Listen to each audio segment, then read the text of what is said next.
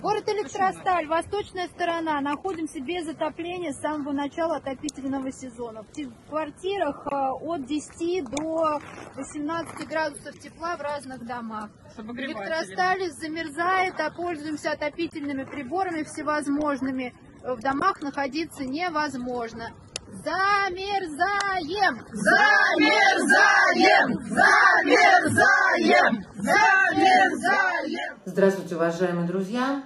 Учитывая последнюю ситуацию с прорывами ЖКХ в теплоснабжении и поставке электроэнергии в Подмосковье, и не только в Подмосковье, в других регионах, можно подвести такой итог 32 годам существования Российской Федерации с момента, как был уничтожен Советский Союз а, Беловежскими соглашениями.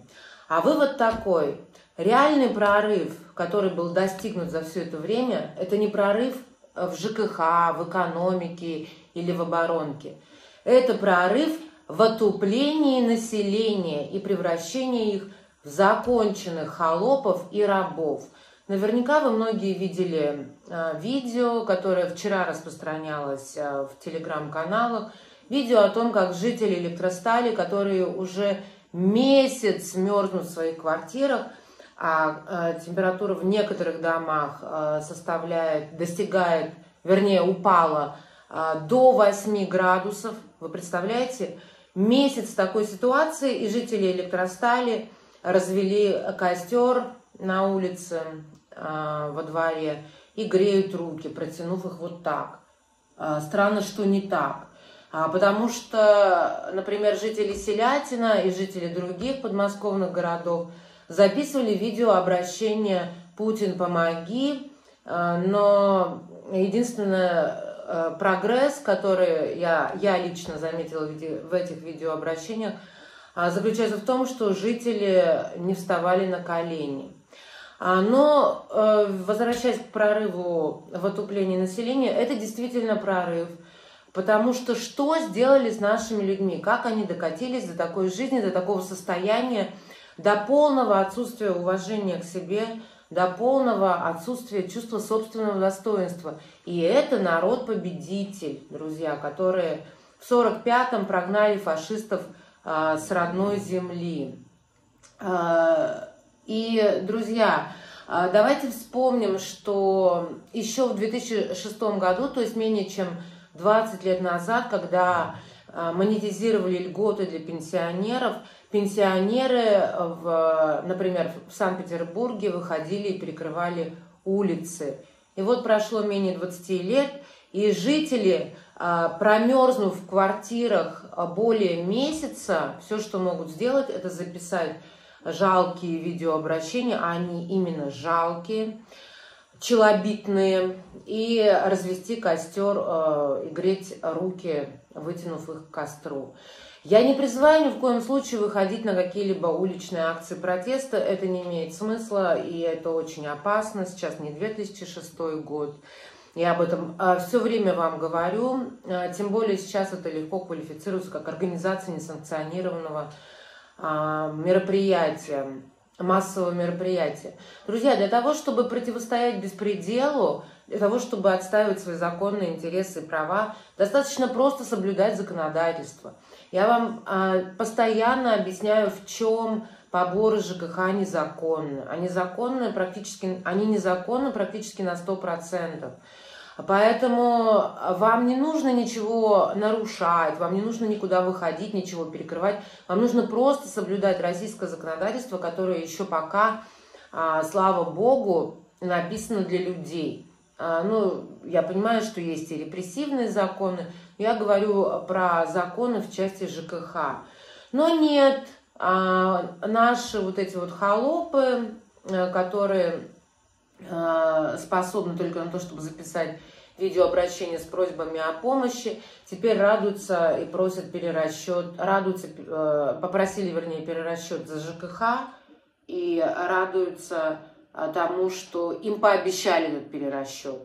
Ну, может быть, им перерасчитают, но потом-то им все равно поднимут тарифы. Потому что уже сейчас Воробьев сказал, что на реконструкцию ЖКХ нужны миллиарды. Вы представляете? То есть миллиарды ежегодно платятся на ЖКХ в этих поборах, но все равно нужны миллиарды для реконструкции систем ЖКХ. То есть даже вот такие аварийные ситуации, которые влекут тяжелые последствия, а по этой ситуации в Подмосковье возбуждено уголовное дело, эти ситуации чиновники используют для своей выгоды. Я напомню, э, если кто-то забыл, ситуацию со свалками в Подмосковье. Абсолютно такая же история. Э, когда начинался перепад температур с зимних на весенний, свалки начинали выбрасывать свалочный газ, от которого травились местные жители. А была громкая история со свалкой в Волоколамске, куда приезжала пиариться Собчак перед выборами. А в итоге людям, какой э, собакам бросали какие-то поездки в санаторий, на лечение, они тоже благодарили, э, со слезами на глазах благодарили власти за такой, э, за такой подарок, за такие подарки. Ну и потом выделялись миллиарды на рекультивацию свалок, а, и эти миллиарды просто разворовывались. А рекультивация заканчивалась тем, что в свалку вгоняли огромную трубу, а, которая собирала весь газ э, внутри свалки, собирала, а, концентрировала такой газ. Он выходил через трубу, и на выходе э, этой трубы он просто сжигался. А, но это не обеспечивает сжигание свалочного газа на самом деле, не обеспечивает а, полной утилизации, полного разложения токсичных веществ, например, диоксинов. Там очень много различных токсичных веществ, а, но одно из них это диоксины. Так вот, для того, чтобы сжечь эти токсичные вещества в свалочном газе, нужны температуры 3-5 тысяч градусов. А при обычном сгорании таких температур, понятно, не достигается. Ну и все, э, люди бузили, им кидали какие-то ништяки, потом выделяли миллиарды на, на решение проблемы, миллиарды разворовывались. А дальше составлялись какие-то отчеты, что а, рекультивация была проведена. И сейчас будет то же самое. Почему? Потому что не Воробьев и его вороватое окружение виноваты а мафиоза Воробьев. Не Путин виноват, а виноваты сами вот эти вот э, люди, э, которые не требуют к ответу э, вот этих э, чиновников, э, которые не требуют детализацию и э, не, э, не требуют отчетности по движению средств, которые оплачивают поборы ЖКХ на транзитные счета, что является нарушением прямого приказа Центробанка, потому что перевод денежных средств на транзитные счета а, может быть финансированием терроризма, и это запрещено российским законодательством. Но нет, они же платят, а потом они разжигают костры, записывают видеообращения, и, и все, и дальше никуда не идет. Друзья, а ЖКХ разваливается, потому что предел прочности, запас прочности, вернее, а, выработан полностью, этот предел достигнут и пройдена точка невозврата. ЖКХ полностью развалено во всей стране. И страдает не только Подмосковье, страдает и, казалось бы, жирная Москва. Это последний город, где еще остаются деньги и где еще из людей выбивают э, поборы ЖКХ, и люди более-менее платят. А, вот, например, посмотрите э, на эту дверь замерзшая дверь с инеем, со снегом. Это дверь, причем вторая, не первая входная дверь, а вторая входная дверь а, в, в моем подъезде, в котором я проживаю 15 лет. И впервые я наблюдаю такую картину. Замерзшая по периметру дверь. Почему она замерзла? Почему иней и снег на, на двери? Потому что в подъезде понижена температура до минимальной, а, от дыхания идет пар, реально в подъезде холодно, от этого холодно в квартирах, я сплю под тремя одеялами. И почему, э, далее я вам рассказывала, что в течение праздничной недели постоянно выключали горячую, то горячую, то холодную воду. Завтра снова будет полное отключение воды. Я прочитала объявление на подъезде. Отключение воды с половины третьего до половины четвертого а, для того, чтобы произвести какой-то быстрый ремонт, что-то залатать быстренько, потому что у них, видимо, настолько все на грани, что они, а, опасаясь прорывов ЖКХ, просто тупо выключают, а, понижают отопление, напор, понижают температуру и тупо выключают горячее холодное водоснабжение. В общем, приехали. Мы приехали.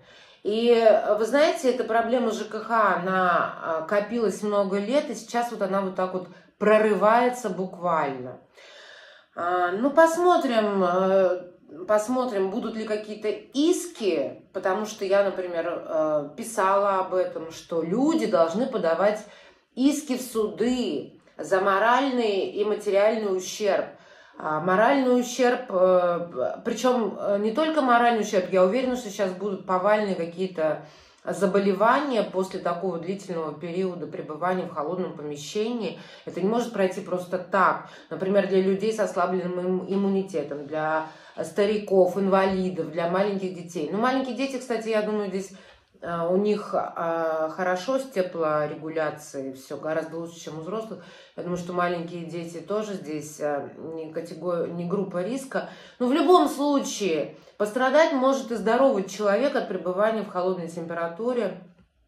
Это и медицинские счета, и материальный ущерб от прорыва батареи, и моральный ущерб, конечно, за то, что помещение было превращено в состоянии непригодное для жилья. А, это должны быть коллективные иски в суд. И я уверена, что среди десятков тысяч человек, которые сейчас пострадали от этих аварий, а, я уверена, что есть юридически грамотные люди или люди с юридическим образованием, которые могут такие иски составить. А, но посмотрим. Я просто, я просто если честно, не тешу никаких иллюзий относительно нашего народа. Я вам это тоже много раз повторяла и писала. А я уже много лет занимаюсь общественной деятельностью, и я поняла, что это потеря времени, вкладываться в людей, что-то им объяснять, а, что-то как-то им там помогать, потому что потом получаешь плевки в лицо, обвинение в том, что ты провокатор, хочешь их подставить. А, я рассказывала, по-моему, ситуацию. А, в девятнадцатом году я организовала народный сход. Это полностью законно. Организовала народный сход жителей подмосковного местечка Щелканово, это недалеко от Волоколамска, где тоже местные власти устроили свалку. А, это, этот район в Подмосковье называется, назывался раньше Руз, Рузской Швейцарии. Это считается, э, раньше считался чистый, экологически чистый район с красивыми лесами, а, с водоемами. Э, и у людей там э, уже давно, и их родителей, кто-то в наследство получал, дачи, деревенские дома, свое хозяйство – и вот им устроили на карьерах, устроили свалку буквально на воде, местечко Щелканово. Вот я туда ездила, они меня просили помочь им, привлечь внимание прессы, как-то вытащить эту проблему в информационное пространство. Я как раз тогда занялась общественной деятельностью, ходила на различные митинги, в основном градостроительные, где э, москвичи протестовали против беспредельной застройки. И вот я собрала журналистов, блогеров, общественных различных активистов, привезла им туда, а, сама делала пиар этой акции, готовила ее в течение двух недель, собрала там 300 человек, это был именно народный сход, а, провела их на эту территорию якобы заводика, который построен для отвода глаз, якобы там переработка мусора. На самом деле там просто была устроена свалка на воде. И э, из этих карьеров вода перебрасывалась уже отравленная эта свалка, перебрасывалась в реку Гряда, которая в итоге впадала в а, реку Москва и доходила до Рублевского забора. То есть, в принципе, я тоже, а, можно сказать, страдала и страдаю сейчас от этого. Ну, а, конечно, существует очистка, но есть такие вещества токсичные, которые стекают из свалок, фильтрат, это вы знаете, да, фильтрат, который невозможно очистить никакими фильтрами. И вот поэтому, собственно, у меня был такой свой тоже интерес. В итоге, друзья, после того, как я им сделала такой пиар, а, они меня обвинили в том, что я провокатор. А знаете почему? Потому что Воробьев, вот этот вот Воробьев, губернатор Подмосковья, а, прислал свою, своего агента, Лиля какая-то, и она, она вот так вот ездит по разным протестным местам и гасит все это. И она собрала вокруг себя вот этих вот жителей и, и рассказала им, что я провокаторы, я их э, могу подставить. Э, там, конечно, присутствовала полиция, но никого даже не повинтили. Понимаете, никого абсолютно не повинтили. То есть никаких нарушений там не было. Это был просто народный сход, э, который э, разрешен, разрешен нашим законодательством. И в итоге эти жители послушали агента Воробьева, вот эту вот э, женщину, и меня закидали тапками – сказали, что я их хотела подставить. После этого мне было так обидно, и после этого я себе сказала, что все, больше я никогда ничего делать не буду. А, это бесполезно. Это настолько бесполезно. Это такое раболепие перед властью, перед которым, а, а, от которого настолько теряешься, даже не знаешь, что сказать. Как можно было настолько э, лишиться со, чувства собственного достоинства? Э, да, э, настолько народ лишен чувства собственного достоинства, что э, проглатывает такие новости, как, например, заявление Пескова о том, что для реконструкции систем ЖКХ, э, для замены прогнивших труб 10 лет недостаточно. Песков. Система ЖКХ обновляется, но за 10 лет поменять все трубы невозможно. А, и вы знаете, хочется спросить, задать вопрос а, Пескову, у него с памятью, может быть, что-то а, случилось. Ведь человек знает несколько иностранных языков. Он из дипломатической семьи, если я не ошибаюсь. То есть это человек с высшим образованием. И что Песков забыл, что после окончания Великой Отечественной войны страна была отстроена из руин за 10 лет. За 10 лет вся страна была отстроена. А он тут говорит про какие-то 10 лет, за которые невозможно поменять все трубы. За несколько лет был создан ядерный щит державы. А Песков нам говорит, э, а, кстати, какие 10 лет? 10 а, лет откуда он считает? Воробьев на своей должности находится 12 лет, Путин на своей должности находится 25 лет, а Советский Союз прекратил свое существование 32 года назад. Как он считает, непонятно. То есть у него проблемы не только с памятью, но еще и с математикой. Друзья, но это не Песков виноват, как я сказала, не мафиоза Воробьев, не Собянин, не Путин. Виноваты люди, виноват народ, потому что они сидят, боятся а, и ничего не хотят делать. То есть они трусливы, ленивы, а, и все, что они могут, это вот вытянуть руки, встать на колени, поплакать и пойти тихонько там дальше сидеть, а, сидеть в вымерзающей квартире. А, в вымерзающей квартире, они, не, не знаю, сколько они еще будут сидеть в вымерзающей квартире. А, хочу еще добавить по ситуации ЖКХ, у нас э, перебор тоже, знаете, с этими теориями заговора, и подписчики некоторые считают, что это специально были созданы вот эти вот прорывы ЖКХ, нарушение отопления, разрывы труб. Это специальные диверсии. Это они специально готовят э, какие-то локдауны. Эм, но я понимаю, что нужно анализировать происходящее. Друзья, но здесь это банальное воровство, разграбление и развал системы ЖКХ. Не нужно видеть э, теории заговора в том, э, где их просто нет. А, поэтому не, не крутите себе мозги, это, это просто точка, в которой все уже начинает разваливаться. И сейчас это все заменить, к сожалению, я думаю, что просто нереально, учитывая масштаб проблемы. А, как они будут это решать, я не знаю. Я вам предлагаю просто приготовить себе какие-то вещи, которые вам помогут выжить в квартире, если вдруг будет отключено отопление, электроэнергия, и вам нужно будет продержаться какое-то время, а, пока вам не дадут обратно тепло в батарее, чтобы хотя бы вы а, не покрылись инем, как моя входная дверь на подъезде. Это а, держите запас воды дома обязательно. Дальше купите себе свечи, обычные восковые свечи, купите спички, купите газовые горелки, чтобы можно было разогреть еду. Я, например, купила печку-буржуйку и упаковку дров. Ну, это, конечно, крайний случай, я надеюсь, что до этого не дойдет.